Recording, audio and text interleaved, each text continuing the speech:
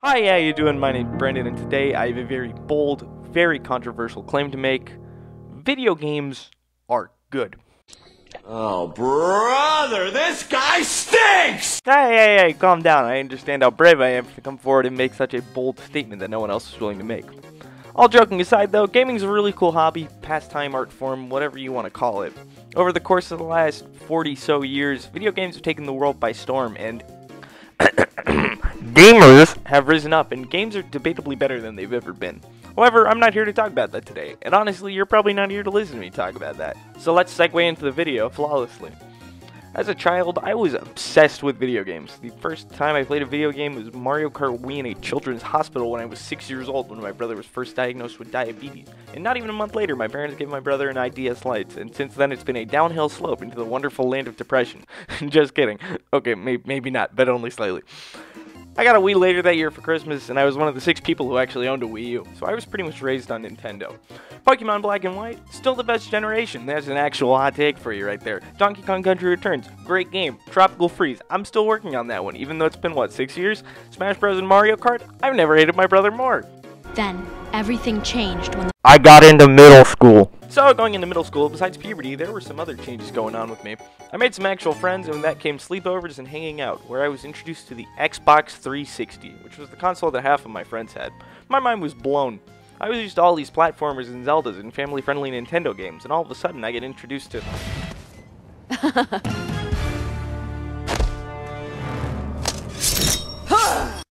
It was a pretty big shock to my small 12 year old walnut sized brain.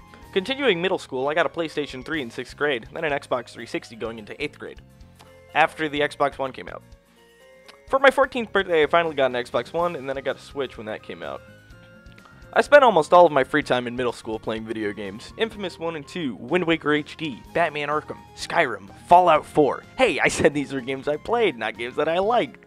And on top of all of this, tons of Minecraft and Team Fortress 2. I was a true bona fide gamer. It was really my only hobby, which is a big yikes for any 14 year old going into his freshman year. Which brings me to. High school sucks! So, freshman year comes around, and all of a sudden, I find myself with much more things to do and absolutely no free time. Marching band? Fuck yeah, bro, give me more things to do. High school plays? More! How about the Algebra 2 homework my teacher expected me to do every night? now that's too far. Anyways, even though I got my Switch, I found my interest wandering towards other things, as is normal for people once they get into high school. The majority of things that I played were games that I already owned, namely Breath of the Wild and Mario Odyssey, but I didn't really touch either of those games after I beat them once. Sophomore year came around, and really the only game I touched was Destiny 2 over the summer with some friends, and from there on, my primary interests were music and Dungeons and Dragons. I honestly can't remember any games that I even played for a considerable amount of time my junior year of high school. And going into senior year, I expected it to be the same thing until I decided to buy myself a video game during some Christmas shopping with my girlfriend at the mall. And that game was Dragon Quest XI Echoes of an Elusive Age, the game that revived my love of gaming.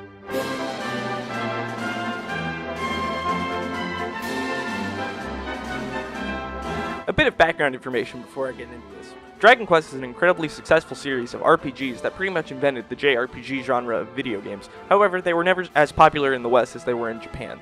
With that in mind, let's dive in. Dragon Quest XI Echoes of an Elusive Age originally came out for the PlayStation 4 and the 3DS in July of 2017. A Steam release came in September 2018, and a Nintendo Switch version came out in September of 2019, this time branded as Dragon Quest XI-S. This release of the game added many things that were not present in the original releases, some more strange than others. The Switch port added Japanese voice acting, the 2D 16-bit mode, and an orchestral score. This is the version that I picked up as I had heard some good things about the game, and I didn't have a PS4 or a decent PC at the time. I sunk around 85 hours into the game, and I loved almost every second of it. Honestly, it feels like every detail of this game was made by people who give a shit, which is especially important when some games just feel like they were made to get a quick buck out of the player. Getting more in depth with the game, I guess we should start with two things that really carry the game the story and the characters. Alright, let's get this out of the way real quick. The story of this game is nothing groundbreaking. It's not a revolutionary narrative that will leave you impressed at its complexities or analyzing it, picking it apart. But honestly, it doesn't need to be. Spoiler warning, skip ahead to the time on screen if you don't want the story spoiled. I'm spoiling the whole thing. The game split into three acts, with almost all promotional material for the game taking place during the first act of the game. Granted, that's still around 25 to 30 hours of content. So, you are the chosen one, the Luminary, and it's your destiny to defeat the Dark One, Mordegon. Once you come of age, your village ships you out to the capital to see the king so that you can save the world and fulfill your destiny. And that just sounds about like the most generic fantasy plot imaginable, which is what the game relies on. Then, you go to see the king. And as it turns out, the entire world hates you, and the king has you thrown into the dungeon. Now look at that. Your expectations just got subverted. So, you get out of jail with your new best friend, and you begin your adventure. You go and meet this tiny girl, Veronica, who's looking for her sister, and she looks just like a kid. So you think you're gonna go look for another dumb, stupid kid. And then as it turns out, her sister's the best girl in the entire game. Bam! Subverted again! Then you keep going to all these places looking for this branch, and you keep getting your expectations subverted. The prince from this horse race town is a total pussy, and you have to do his job for him. Then you get to this mask place, and you find a hot girl in Master Roshi, and bam, your expectations are subverted. He's your grandpa, and he's been trying to fight the Dark One too. Okay, maybe not. That one's not that. Okay. But anyways, you get all six MacGuffins and start making your way towards Yggdrasil, the World Tree, and you think, oh shit, time to kick some Dark One ass. And then you get up there and you get your teeth kicked in. And as the screen goes to black after the glorious cutscene, it leans out of your switch and it whispers into your ear, Hey, those expectations you had, they just got subverted! Now, Act 2 starts, and you do some boring side stories that were honestly way too long with flamboyant hot girl Master Roshi and best friend that take way too long being around an hour each, before finally getting to play as our hero once again. Once you do, you regain consciousness and realize that having the Dark One take over the world probably isn't a good thing. Oh, so, you start rebuilding your merry band of misfits, and the game teams you up with one of the dudes who was actively trying to kill you during Act 1, which is a nice sub- Would someone stop these people from yelling? subversion of expectations. Thank you. Anyways, you get your traveling circus back together and start recollecting the MacGuffins, seeing how each area you previously explored got changed from the evil dude taking over. Then, you find out the tiny girl died saving your ass when the World Tree committed boom. You go and square up with the Dark One for real this time after summoning a flying sky whale using a fishing rod. That doesn't sound like a real sentence, but hey, we're going with it. So you square up with the Dark One and kick his ass, beating the main story. But wait, I said there were three acts. Well, then we get into the post game, which is enough to warrant its own section of the video later on. Now, all that stuff I mentioned is just the main story of the game, and it's not even mentioning the weird B story stuff that happens. Like this one bit in the Central American town where you get sucked into a painting inside of ruin walls. There's another bit where you meet a mermaid who's been waiting for her fiance to return, but then you find out that the mermaid's been waiting for 80 years and the guy died and had a grandkid, so you go and reunite them. The story of this game is nothing insane, but its use of tropes works to its benefit to surprise the player occasionally. Hell, there were parts in this game where I was actually genuinely surprised, and I probably had a big dumb smile on my face.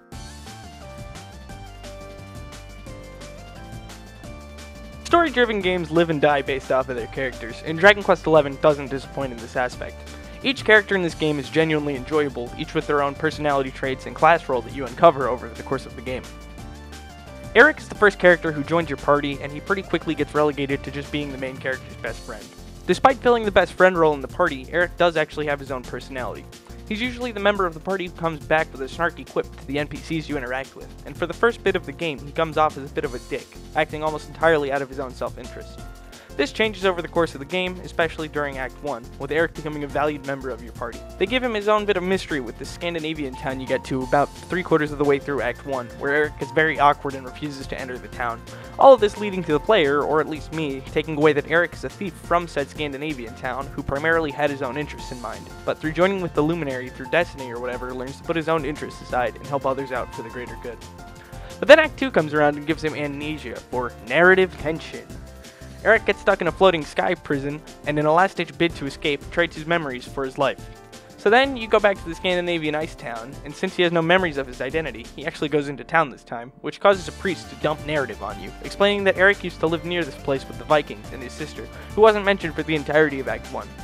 You go to his old house, and you get more exposition dumped on you, finding out that Erik accidentally cursed his sister, causing him to run away from his problems to seek forgiveness for this mistake. You fix Erik's mistake, and he returns to being his old, chipper self for the rest of the game, giving a nice little message about how you can't run away from your problems, as doing that caused Erik's sister to transform into a MacGuffin monster. Veronica is the battle mage of your party, and she's also the law.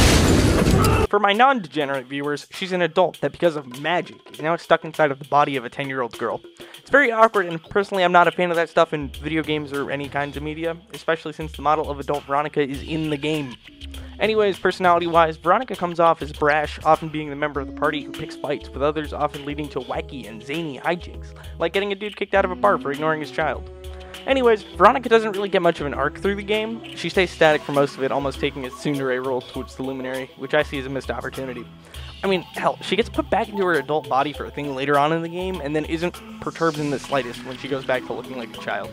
Feels like they made Veronica look like a kid just to tick off some child party member box, which is a real shame because this concept has a lot of potential. Acting as the foil to her sister, Serena is the healing mage of your party with a calm and peaceful demeanor to go with it. Being the younger twin, Serena is often following in Veronica's footsteps. Throughout the game, the player is constantly shown the two interacting, with Veronica leading and Serena following, culminating in a cutscene in the final area of Act 1, with Serena asking that since her and Veronica were born at the same time, whether or not they'll die at the same time, which some might find foreshadowing. Aside from this, the scene really establishes the idea that Serena really relies on her sister to keep her going, which is explored further in Act 2, where Serena is forced to rely on herself for the first time. Anyways, this change in independence is of course shown through a haircut. Gameplay wise, this is also shown with her taking up Veronica's abilities and spells, showing that though Veronica may be gone, she's still with her sister and the party. Despite not taking a large personality change and remaining the second most bubbly member of the party, Serena still goes through a nice bit of development until the postgame comes around.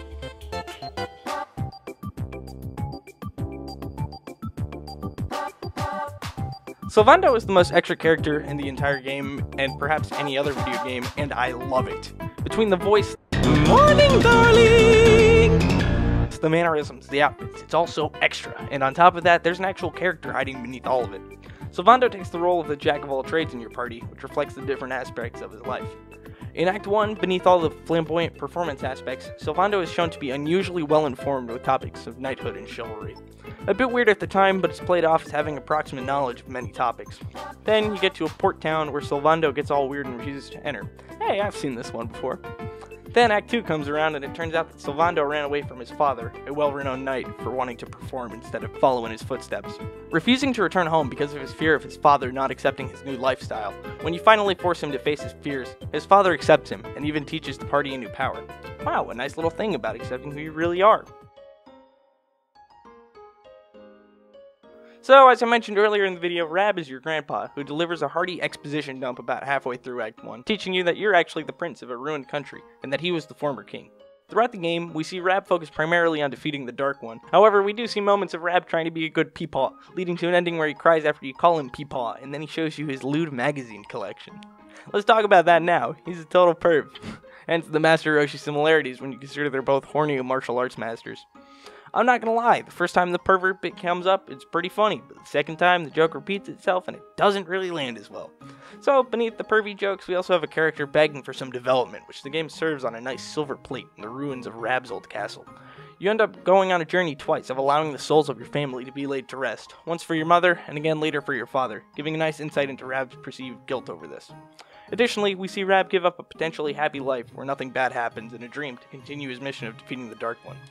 Damn, it really does feel like every character got something to do in this game except for Veronica.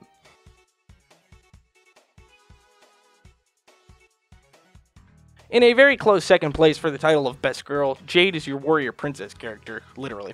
She has no spells and is actually the princess of the kingdom that tried to get you arrested earlier in the game. Her arc revolves around her father, the king, being possessed by the Dark One, which explains why you were almost arrested and killed. Throughout the game, we see this eating Jade up, fueling her with vengeance for that final battle. Jade also gets this thing where she cared for the Luminary when they were an infant. Kinda weird, but whatever. This leads to her going out of her way to make sure that you stay safe throughout the game, in one instance, causing her to literally jump off of a cliff to save you, then immediately making sure you're okay. I'm not gonna lie, the best girl contest is horribly close between Jade and Serena, and I think the only reason that Serena wins is because of creepy game design.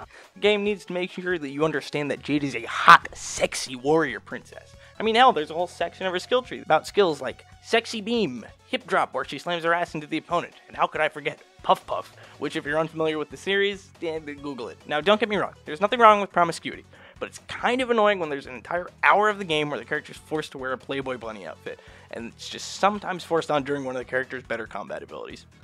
Anyways, my opinion is just that, and I understand that there's a cultural gap between here and Japan. A redeeming grace, though, is that there's a caring personality laying the foundation for this character, as opposed to having her just be a sex object. Silver lining?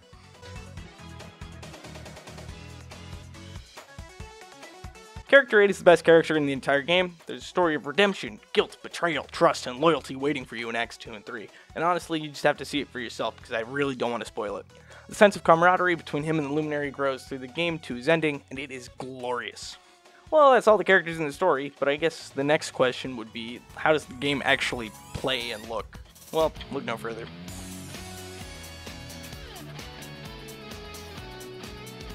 I think it's pretty safe for me to say that the gameplay is split into two main parts exploration and combat, with some mini games mixed into the exploration bit that are optional. Starting with exploration, the game world is linear, you're often going from point A to point B.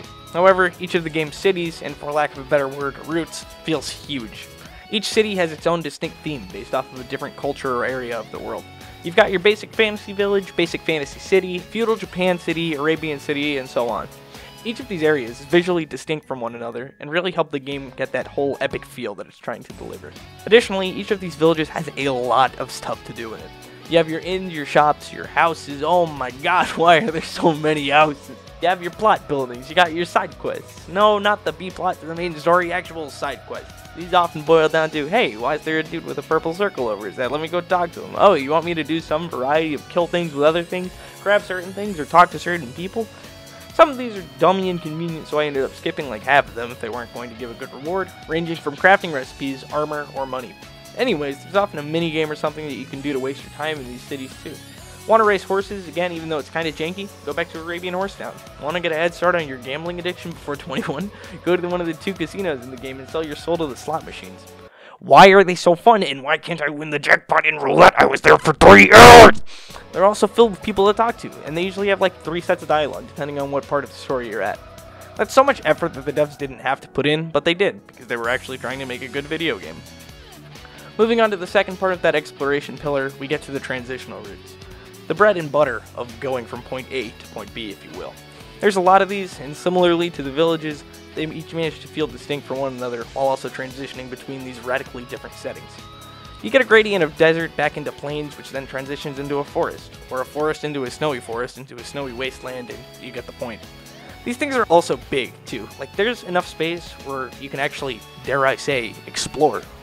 Sometimes the game will give you a different path, and you'll almost always be rewarded with an item or a crafting recipe in a chest for going out of your way to pick it up.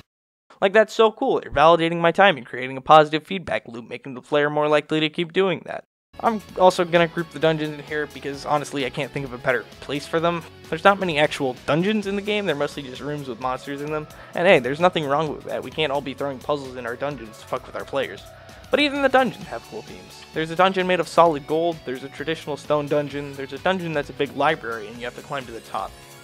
The point I'm trying to get at with the exploration stuff is that each location is really distinct from one another, and none of them really blend together, which is hard to do in a game this big. But Dragon Quest XI really nails it with this, and it really sells the globetrotting aspect. Moving on to the second thing that you're going to be spending most of your time doing in this game, the combat. It feels good. It consists of four of your party members against however many enemies that you're facing. It's pretty standard JRPG turn-based combat, but it managed to keep me engaged for the 90 hours that I sunk into the game. Each of your party members fills a specific role for you. The Luminary can switch between single target damage or burst physical damage with some solid magic backups. Erik is your rogue who can do huge damage through status condition traps. Veronica is your battle mage, Serena is your healing mage, Sylvando is your all around, but I personally used him for multi target physical damage. Rab can be a sage or a fighter, having access to both damage and healing spells. Jade is your fighter, and 8 is your tank. Additionally, each character gets access to a huge skill tree that can let them spec into something completely different. Like you want Serena to only use lances for some reason? Go ahead, broski. The combinations of the 8 party members allows you to pretty much prepare for any kind of battle. For example, in my playthrough, I mostly used Luminary, Erik, 8, and Rab for stomping through enemies, but for bosses, I used Luminary, 8, Rab, and Sylvando. Almost every character also has a non-damage dealing thing to do in combat.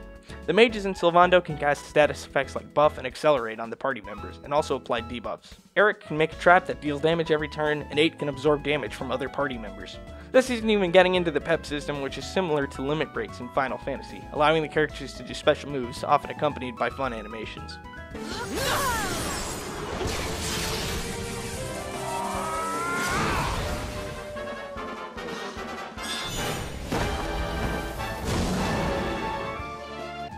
What I'm really trying to get at with all my rambling is that even though the combat system may seem like generic turn based RPG combat, it really takes the formula and fine tunes it into something fun and engaging, whether it's the first battle or the 1000th.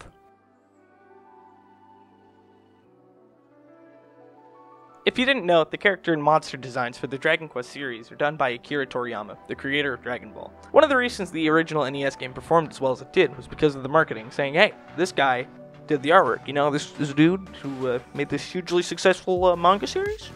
So 20 years later, Toriyama is still doing the designs, and Dragon Quest XI manages to take his work and seamlessly translate them into a 3D space. The models look smooth, and the animations and the monsters are full of life, and sometimes pretty funny. That's not even touching on how the devs managed to take a PS4 and PC game and make it run almost perfectly on the Switch while not making it look like garbage. I'm not smart enough to tell you what resolution the game runs at, but I can tell you that it looks nice and doesn't have a lot of frame rate issues. Sorry this section's short, I really just can't think of anything besides dur dur dur game pretty. The music for the game and the series as a whole is done by Koichi Sugiyama, and he's said and done a lot of dumb shit over his life, so I'm just gonna leave it there with him. I'm still going to talk about the music though, because this game got some bangers, which is important when you're going to be listening to the same four songs for 100 hours. You walk into any town, bam, town music that slaps so hard it left a bruise.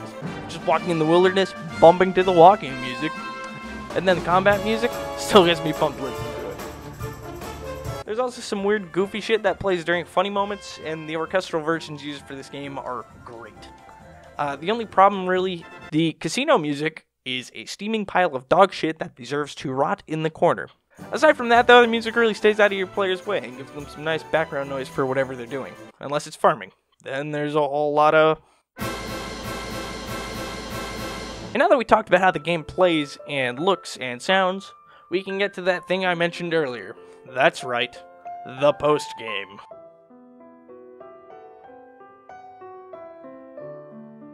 Ah, the post game. So, roughly 70 hours into the game, you defeat Mordegon after regaining your party and the six MacGuffins. You beat his ass for real this time, and the world is saved, with the world tree even going back up into the sky and everything. However, immediately after the credits roll, you get to enjoy your victory for about 10 minutes before the group goes, Hey, I know we saved the world, but we really want Veronica back in the party, and you start trying to bring her back to life. Black convenience happens, and you find a way to bring her back to life at a mysterious tower. You go to this tower only to find out that the way you bring people back to life is to go back in time and stop them from dying. Oh boy, time travel. You decide to leave all of your friends behind and go back in time to save Veronica and the world from the Dark One before he can jump you in the world tree by going back to an undetermined point. This is where my biggest problem lies. You have to redo around three hours worth of content to get back to where you were, and all the character development stuff that you did in Act 2 is gone since Act 2 never happens in the new timeline. All that stuff with Erik's sister, it's optional content. Serena's entire arc of gaining independence, gone, reduced to atoms. It all just goes the fuck away unless you go and look for it, doing things that you already oh, did with less of a reward this time. Sure, the postgame adds things for you to do like the actual final boss or combat trials, but they don't feel as well made as the rest of the game. Like for the continuation of the main story, you have to go through these three mega dungeons, which are just areas that you've run oh, through before with harder monsters added. I don't mean to sound too negative because I really do love this game, but personally, this I finally got a good PC and with the keep going out of me. I stopped halfway through the third mega dungeon and haven't picked up the game since. 85 hours in though is definitely more than I thought I would get out of the game I knew nothing about.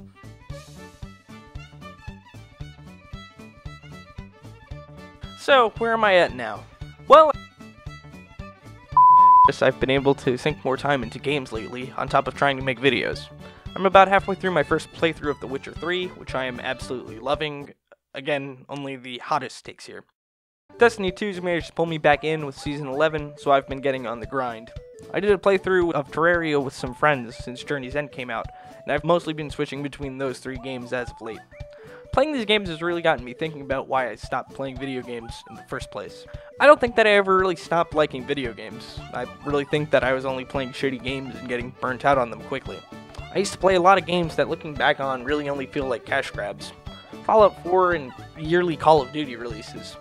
But there was really something different about Dragon Quest XI that just pulled me back into this hobby. And that would be passion. Every detail of Dragon Quest XI feels like a person made it and liked what they were doing. From the animations to the dialogue, even the most minute to the gameplay.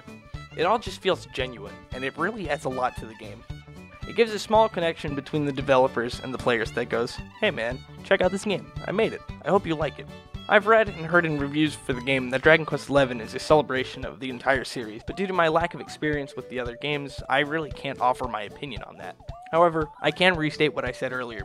However, I can't restate what I said earlier, and that's that this game feels like the people who made it give a shit about the art form of video games. And that honestly goes a long way when some companies are really just trying to force out shitty RPGs year after year, hoping that no one notices how sloppy the games are getting every year. Anyways, if you haven't played Dragon Quest XI, hopefully I convinced you to pick it up, and if you have played it, maybe I've inspired you to give it a replay. Well, that's pretty much all my rambling. Um, I'm not sure how these videos are going to turn out. I kind of liked this whole process of uh, reviewing a piece of media that I consumed and uh, giving my thoughts about it. Mostly story and characters. I'm pretty fucking bad at writing. I don't know if you noticed, but like, holy shit, those last two sections, they were like a minute each. Anyways, uh, I think I'm to do one of these next month for uh, comic books that I read. Um, and yeah, so uh, I hope you have a good one, and I'll see you in the next one. Peace.